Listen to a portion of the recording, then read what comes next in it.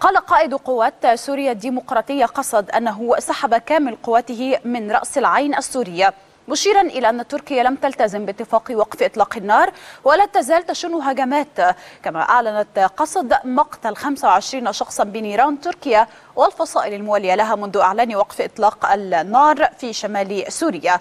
وأكد مظلوم عبدي أن قوات سوريا الديمقراطية سحبت كامل قواتها من مدينة رأس العين كما تم إخراج عدد من الجرحى من المدينة. واليوم تم انسحاب كافة القوات مع العدد الباقي من الجرحى. مؤكدا أن بهذا الشكل تم الالتزام باتفاق انسحاب القوات السورية من بعض المناطق المحددة حسب الاتفاق وثمت مناطق أخرى لا تزال قيد التنفيذ مشيرا أن الدولة التركية من جهتها لم تلتزم باتفاق وقف إطلاق النار ولا تزال تشن الهجمات.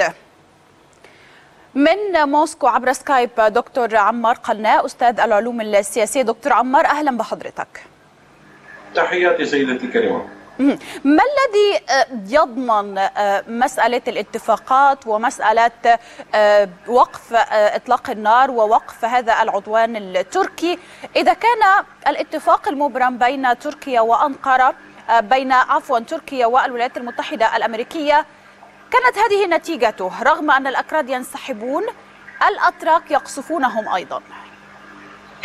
سيدتي الكريمة يعني نرى أن اليوم المشهد السوري وخاصة منطقة يعني الشمال هي يعني تأججت من جديد ومن حيث يعني الهدنة باعتقادي أن الأتراك لن يلتزمون بهذه الهدنة يعني ضمن الاتفاق الأمريكي التركي المعلن. وذلك أنهم يعني ينطلقون من منطلق قوة حتى في هذا الاتفاق الذي يعني تم مع مع واشنطن. فاليوم يعني الطرف التركي هو معني يعني باستمرار هذه العملية وبسرعتها من جهة وأيضا يعني التخوف من ازدياد يعني الحالة الإنسانية والتي نراها أنها يعني بدأت في التفاقم. ولكن اليوم من حيث يعني إلزام تركيا باعتقادي أنه فقط الطرف الأمريكي الذي اليوم يعني باستطاعته إلزام الطرف التركي بهذه الهدنة أو بغيره من الاتفاقات.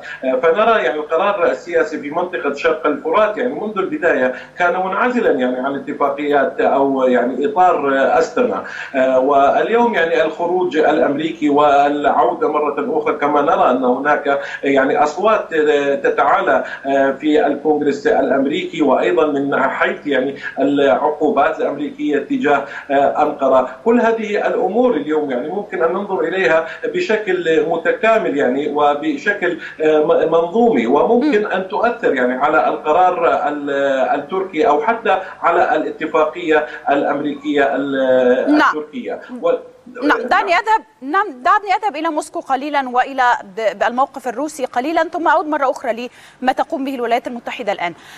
في موسكو أو في في روسيا كيف تجري الأمور؟ ما هي آخر الإجراءات أو آخر التصريحات بشأن ما يحدث في سوريا خصوصا وإنه هناك مباحثات ستتم بين بوتين وأردوغان وهناك تصريحات صدرت من الجانب الروسي بعدم السماح باشتباكات بين القوات التركيه والجيش السوري.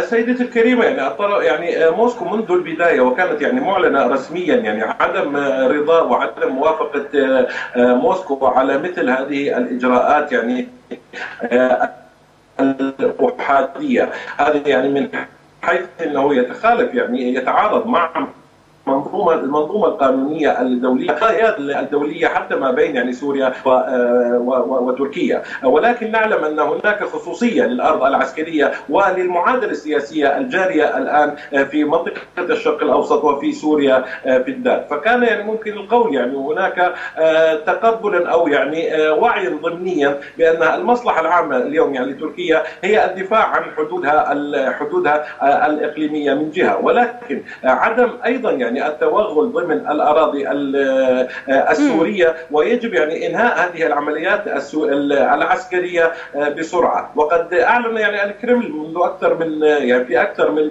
من منصة إنه يجب العودة إلى اتفاقية أضنا التي يعني وقعت عام 1998 وهي اليوم يعني الورقة ممكن القول يعني الوحيدة التي ممكن يعني أن تضمن المصلحة العامة للطرف التركي طيب ولكن اتفاقية اتفاقية أضنا بتلزم الجانب السوري بالتعاون مع الجانب التركي في حماية الحدود وفي عدم تسلل ما تراهم يعني تركيا بأنهم إرهابيين إلى تركيا؟ هذه هي اتفاقية أضنا دكتور عمار. ولكن ليس ضمن اتفاقية أضنا أن يتم تغيير الشكل الديموغرافي أو التغيير هذا التغيير وهذه الإبادة للأكراد في الشمال الشرقي. نعم أنا يعني أوافقك وأيضا يعني ممكن أن أضيف أن كان هناك بندا أيضا إنه يعني يسمح للطرف التركي بال يعني التدخل أو التوغل فقط لمسافة 5 كيلو كيلومترات. ولكن ما تفضلت به نعم يعني أنا موافق عليه. واليوم المنطقة العازلة أو المنطقة الآمنة التي يريدها يعني أردوغان وهناك نعلم أن هناك أمور يعني هي معلنة. الهدف من هذه العملية ولكن الأهداف يعني المبيته فعلا هي تغيير ممكن القول حتى يعني جزئيا نعم صحيح.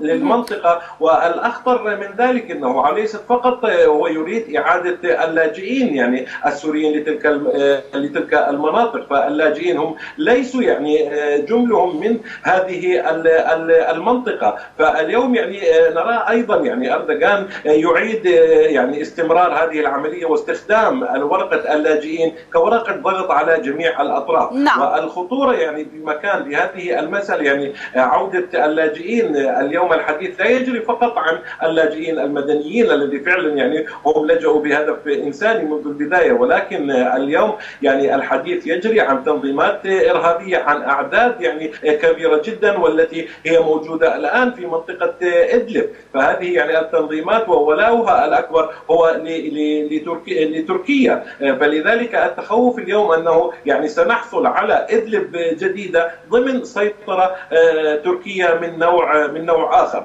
فهذه يعني المسألة تهدد يعني منظومة الامن السورية القادمة. وأيضا ممكن أن تهدد يعني المعادلة معادلة السياسية القادمة، وحيث يعني اللقاء المقبل يعني ما بين أردوغان وبوتين باعتقادي إن هذه المرأة يعني هذه المسألة سوف تطرح. وباعتقادي أيضا يعني سوف تطرح من خلال يعني إطار استنا لأننا نرى اليوم يعني هذا الإطار جرى يعني ممكن القول بطيئا نسبيا ولكنه الإطار الوحيد الذي حقق يعني نتائج فعلية على الأرض من خلال مناطق خفض التصعيد. فاليوم يعني نرى أن هناك أزمة جديدة أزمة عسكرية وهو وهذا ما يتخالف يعني مع النهج الروسي أو المط يعني المتطلب الروسي وهو يعني بدء العملية السياسية. وكما نعلم أن اللجنة الدستورية يعني قد شكلت وهي ممكن أن تكون الخطوة الأولى نعم. الفعلية ب... لهذه المعادلة القادمة. نعم بشكرك جزيل الشكر دكتور عمار دكتور عمار قناة أستاذ العلوم السياسيه كنت معنا عبر سكايب من موسكو